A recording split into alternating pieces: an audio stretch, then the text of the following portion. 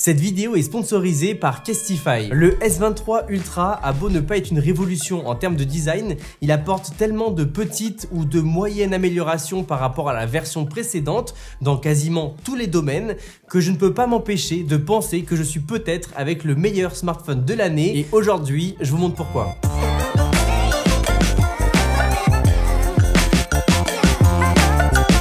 Croisiez l'un de ses propriétaires dans la rue, vous ne sauriez peut-être même pas que c'est le nouveau modèle. Parce qu'il conserve globalement le même design, les mêmes dimensions et les mêmes angles vifs que son prédécesseur. Il a malgré tout quelques évolutions en termes de design, notamment son écran qui est légèrement incurvé mais qui l'est un petit peu moins que la version précédente. On a également quelques retouches mineures comme par exemple les boutons d'alimentation et de volume qui sont maintenant un petit peu plus grands, ce qui permet plus de confort dans l'utilisation. Et si on regarde les caméras à l'arrière, elles sont légèrement plus grandes. Donc en termes d'ergonomie, c'est mieux, mais en termes de design général, il n'y a pas vraiment d'évolution. Par contre, il utilise le nouveau Gorilla Glass Victus 2 à l'arrière, ce qui devrait lui permettre de mieux résister aux chutes, et il est également certifié IP68, donc son niveau de protection contre les éclaboussures et la poussière. Enfin, Samsung propose quelques coloris exclusifs sur son site web, donc si vous voulez vous différencier des autres, n'hésitez pas à aller checker ça. Après, évidemment, on parle de design qui sont plus résistants année après année, mais quand on reçoit le téléphone, on peut pas s'empêcher de se dire qu'il faut lui mettre une coque, et comme vous le savez, Kestify est la marque de coque avec qui je travaille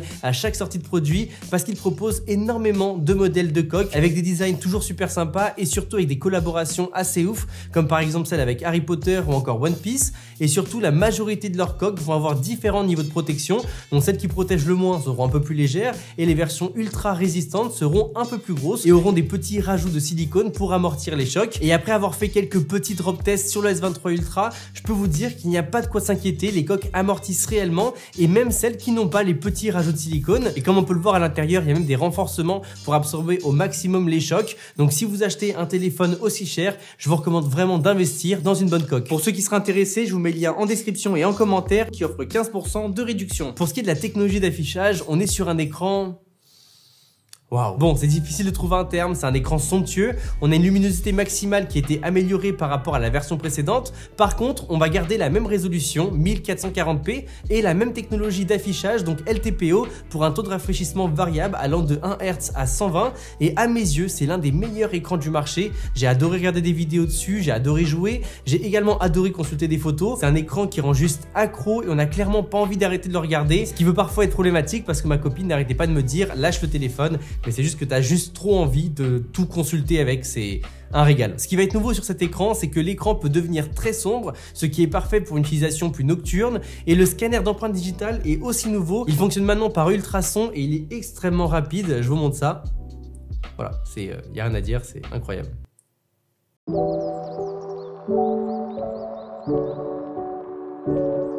Par rapport à ce qu'il y a sous le capot, il y a énormément de changements. On est maintenant sur une puce Snapdragon 8 Gen 2 ou pour ceux qui ne s'y connaissent pas, la puce la plus puissante du marché. Pour être précis, il s'agit en fait d'une version légèrement modifiée pour que Samsung puisse avoir les smartphones les plus puissants du marché parce que évidemment, ça a être la puce la plus performante, Snapdragon vend tous les ans leur meilleure puce aux différents fabricants qui veulent faire des téléphones haut de gamme, mais normalement cette année, le téléphone haut de gamme qui aura la puce la plus puissante sera bien le S23 Ultra. On se retrouve juste avec des gains incroyables par rapport à la version précédente et surtout la partie graphique de cette puce est égale ou même meilleure que celle des iPhones qui a dominé pendant pas mal d'années le marché. Donc on est littéralement sur le meilleur smartphone pour jouer. J'ai globalement ressenti aucune surchauffe et pourtant j'ai enchaîné de nombreuses parties de Call of Duty mobile et le tout avec le maximum de graphisme, de FPS, etc. Et il était vraiment tranquille. Après, petit point négatif, on ne réussit toujours pas à atteindre les 120 images par seconde sur les jeux très exigeants, mais dans des jeux plus basiques, la puce réussit à les atteindre sans aucun souci. Mais autre chose qui est cool, c'est que Samsung a doublé le stockage pour les modèles de base du S23 Ultra.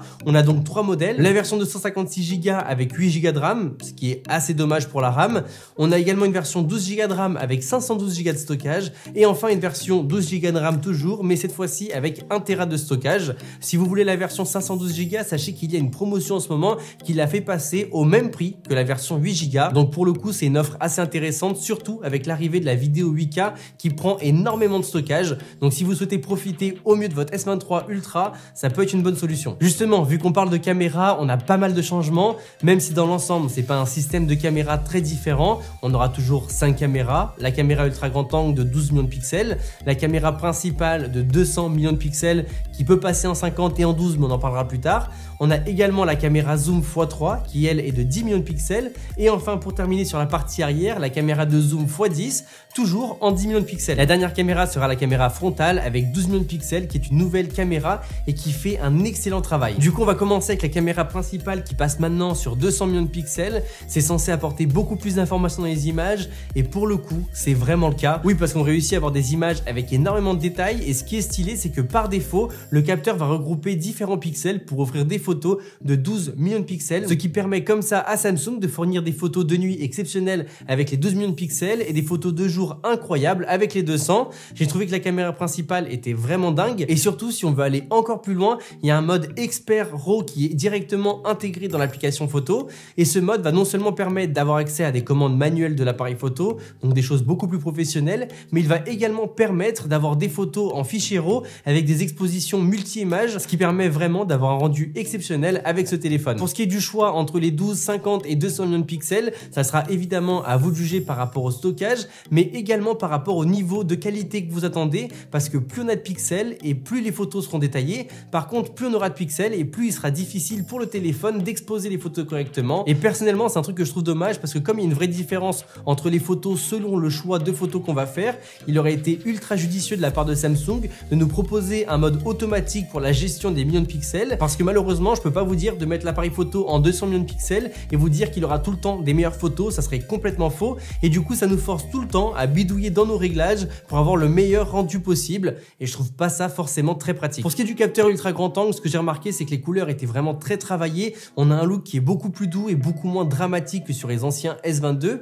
Le S23 Ultra capture aussi des photos avec beaucoup plus de réalisme et il est beaucoup plus agréable. Je me suis pas mal amusé avec et je dois dire que c'était assez étonnant d'avoir une aussi belle image avec le grand angle. Par contre, ce qui est vrai, c'est que de nuit, on se rend compte qu'il y a quand même une baisse de performance sur l'appareil photo. Alors oui, évidemment, ça passe très bien et ça permet de faire de très belles photos, mais on voit quand même une belle différence entre le jour et la nuit. Après, il y a un mode qui m'a vraiment impressionné parce que Samsung avait énormément de retard sur les modèles précédents, c'est le mode portrait. Je ne sais pas comment ils ont fait pour autant évoluer en une seule année, mais je dois vous dire que les portraits sont juste somptueux, les détourages sont super bien faits et ça même de nuit. Je vous montre quelques exemples que j'ai pu faire avec les différentes caméras et comme vous pouvez le voir, les contours sont vraiment propres. Par contre, ce que je vous conseille pour les portraits, c'est d'utiliser la caméra x1 parce que la caméra x3 va compresser l'image de façon un peu bizarre, ce qui rend pas toujours super bien. Mais globalement, si vous faites des portraits en x1, vous aurez des photos incroyables. Pour ce qui est des différentes caméras zoom, on est toujours sur un excellent traitement. C'est quasiment tout le temps la même chose. Je vois pas vraiment de grosses différences par rapport à l'année dernière,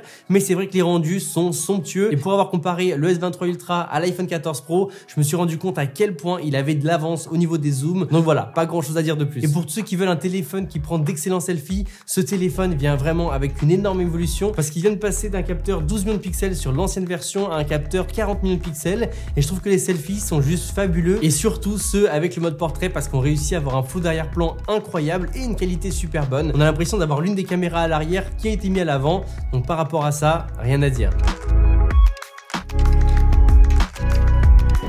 Voici un plan vidéo avec le Samsung Galaxy S23 Ultra et avec le mode vidéo portrait. Ça range super bien et par rapport au son, c'est uniquement enregistré avec le Samsung. Je sais pas ce que vous en pensez, mais je suis vraiment convaincu. Pour ce qui est de la vidéo, c'est globalement incroyable malgré le fait qu'il y ait un gros défaut, c'est que la puce est compatible 4K 120 images par seconde, mais Samsung n'a pas décidé de le mettre. Du coup, on n'a pas cette fonctionnalité là, ça aurait été stylé d'avoir des méga ralentis. Par contre, on a de la 8K, ce qui est plutôt pas mal, mais ça prend beaucoup trop de place et je trouve que par rapport à de la 4K, le gain de qualité ne se fait pas vraiment ressentir.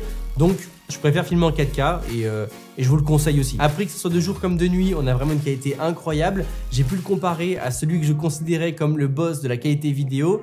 Et pour le coup, je trouve que le Samsung, sur certains aspects, réussit à le dépasser, notamment la partie stabilisation ou encore la vidéo portrait qui est pour moi incroyable. J'ai réussi à avoir des rendus qui sont magnifiques, que je ne pensais même pas possible obtenir sur un smartphone. Je pense que la plupart des vidéastes pourraient croire que cette image a été prise par un réflexe, alors que pas du tout, c'est le S23 Ultra avec aucun ajout de lumière ou quoi que ce soit. Donc un grand bravo à Samsung d'avoir fait ça. Pour ce qui est du système d'exploitation, ce téléphone vient avec Android 13 plus la surcouche de Samsung One UI 5.1. Il s'agit d'une interface extrêmement familière, tous ceux qui ont eu des Samsung la connaissent. Et pour le coup, on voit vraiment une différence entre cette version-là et la version qu'on avait il y a 3-4 ans sur les Samsung.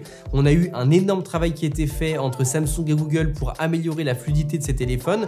Je l'avais déjà dit sur les S22 et encore une fois, on sent l'amélioration. On peut juste noter un seul point négatif, c'est qu'on parle de 68 Go d'espace sur votre téléphone pour le système. C'est énorme, vraiment. Si vous avez par exemple un téléphone 256 Go, faut savoir que vous avez en fait moins de 200 Go sur le téléphone qui sont disponibles pour vous. Alors j'espère que ça va être corrigé avec une mise à jour, autrement c'est vraiment un gros point négatif. Le S23 Ultra dispose d'une énorme batterie de 5000 mAh, alors c'est la même que celle de l'année dernière, mais par contre la fameuse puce Snapdragon vient apporter une amélioration, on parle donc de 20 à 30% de plus d'autonomie selon les usages par rapport à l'ancienne version. En utilisation intensive plus plus, donc tout le temps avec et tout le temps en train de faire des tâches qui sont très énergivore. On peut potentiellement le décharger en une journée, mais honnêtement, faut vraiment y aller. Et sincèrement, selon les journées, j'ai souvent réussi à tenir deux jours avec le téléphone. Et je pense que si par exemple ma maman avait ce téléphone, elle le chargerait tous les 3-4 jours. Donc ouais, on est sur une autonomie qui est colossale. Par contre, le seul point négatif vient avec la recharge,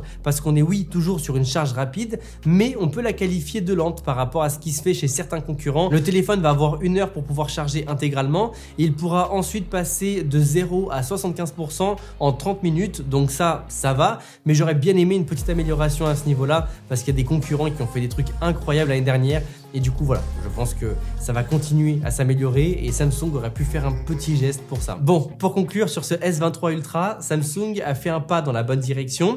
C'est pas un pas de géant, mais il est pas trop loin d'un pas de géant. C'est un pas de genre de Hagrid dans Harry Potter. Il va s'améliorer dans tous les domaines clés avec une nouvelle puce impressionnante, le double du stockage, une meilleure conception et un appareil photo ultra performant. Ce sont des évolutions que tout le monde appréciera et si vous avez un S22 Ultra, je vous conseille pas forcément de changer pour ce téléphone. Par contre, si vous avez un téléphone plus vieux et que vous aimez les grands formats qui font absolument tout de bien, je pense que vous serez assez content de passer sur celui-là. Après, c'est sûr, on est sur un téléphone qui est cher, mais c'est un téléphone que vous allez certainement garder très longtemps. Du moins, c'est ce que Samsung a pensé lorsqu'ils ont fait ce téléphone, puisque la série S23 bénéficiera de 4 ans de mise à jour majeure et 5 ans de mise à jour de sécurité. Du coup, j'ai fait des petits calculs et si vous le gardez 5 ans, ça fait approximativement 23 euros par mois ce qui est plutôt honnête. En tout cas, j'espère vous avoir aidé. On se retrouve très vite pour de prochaines vidéos. Salut à tous, c'était André Martin.